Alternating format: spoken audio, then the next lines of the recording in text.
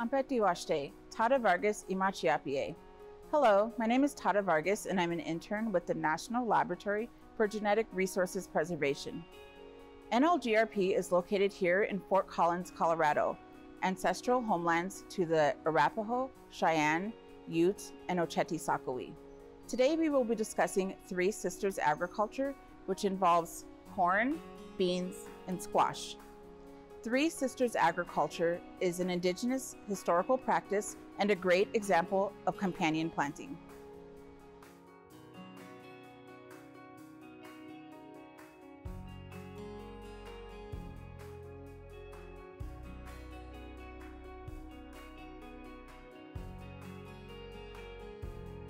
Have you ever heard of Three Sisters gardening? This practice is a historic gardening or agricultural planting scheme in which certain crops are planted in close proximity to one another. By planting in this way, the different crops not only improve their own health and yield, but also that of their companions or sisters. These benefits are not only expressed in the current growing season, but in the next season as well.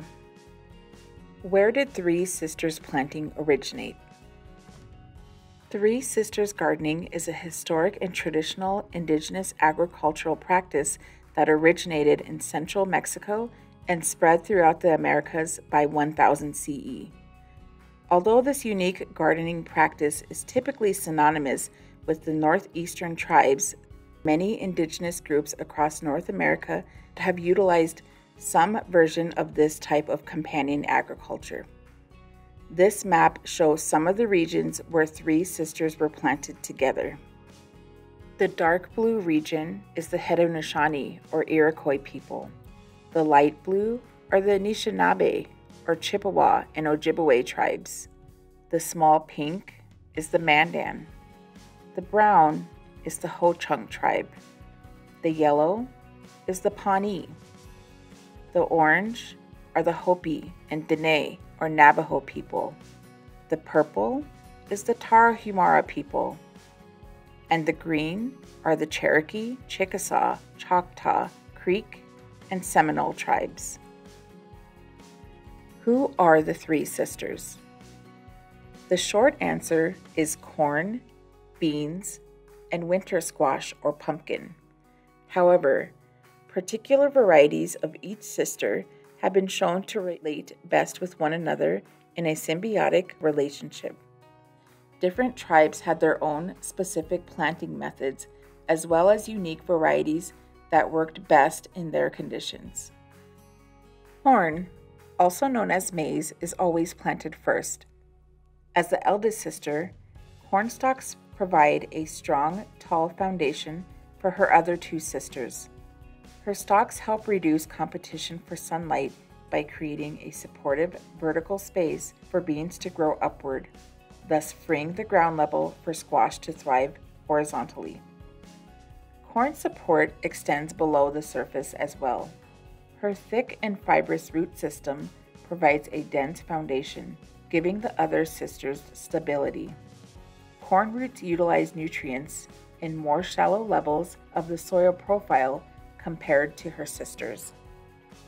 About two weeks after the corn has been planted, or when she has emerged four to six inches above the soil surface, the beans are planted.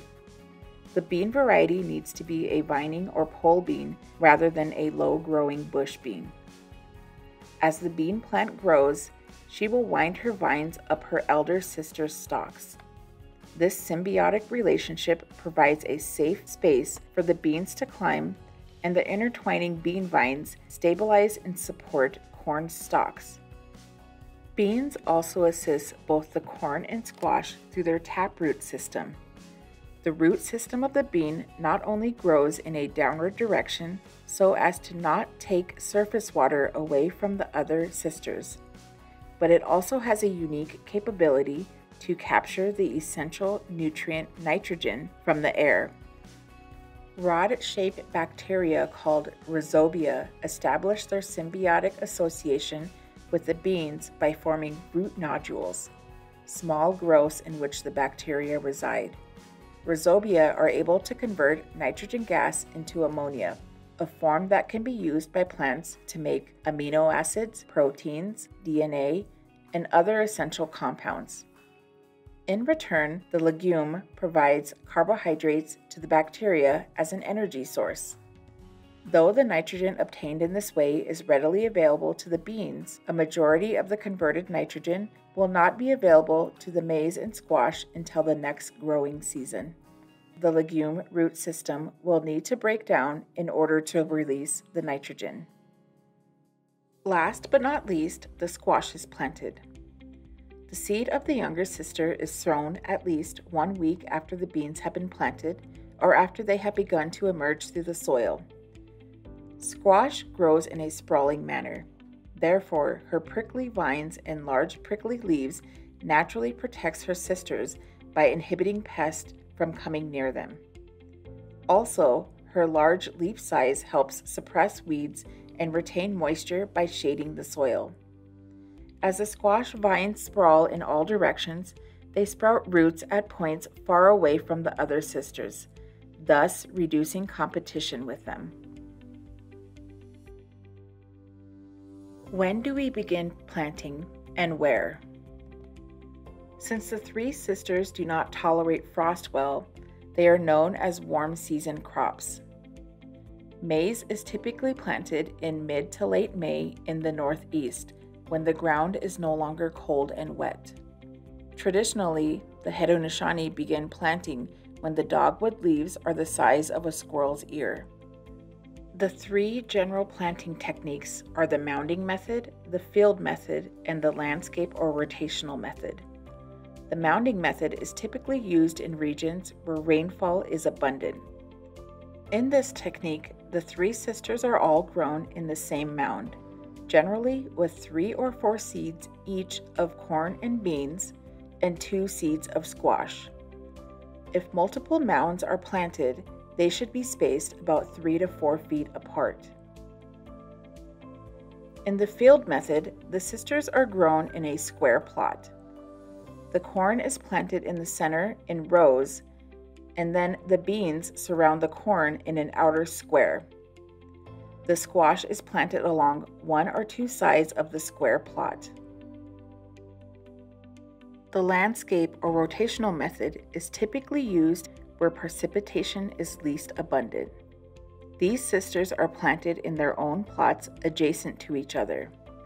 After each season, the crops are rotated to the right. Since corn requires a high level of soil nitrogen, it is important that corn follows beans. Why are these three crops significant?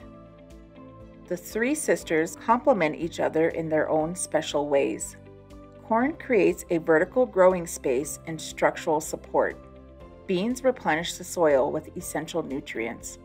And squash wards off pests and helps retain water. Research has shown that planting the sisters together results in a yield increase of up to 30% compared to planting them separately. Three Sisters Gardening also preserves traditional agricultural knowledge, reduces the dependence on pesticides and synthetic fertilizers, and provides a hands on relationship with food. The three sisters were essential for the survival of indigenous peoples and early European settlers. Together, they provide essential nutrients for meals to last through long, harsh winter months. Maize is not only a carbohydrate source, but its high fiber content aids in digestion. Also, it provides a source of B vitamins and minerals like zinc, copper, and manganese. Beans are high in amino acids, which are the building blocks of proteins. They are high in soluble fiber and provide other important vitamins and minerals like folate, iron, potassium, and magnesium. Squash and pumpkin provide an abundance of antioxidants. One serving of butternut squash provides more than 100% of the daily vitamin A requirement and nearly 40% of the daily vitamin C requirement. Historically, the three sisters were most likely dried for food storage and later prepared in a soup. Society has become more creative in their Three Sisters dishes, including burritos, casseroles, stews, and stir fries. There are many communities which do not have easy access to healthy foods. Therefore, Three Sisters Gardening is returning as a heavily relied on practice which can improve community nutritional status and aid in communal food sovereignty efforts.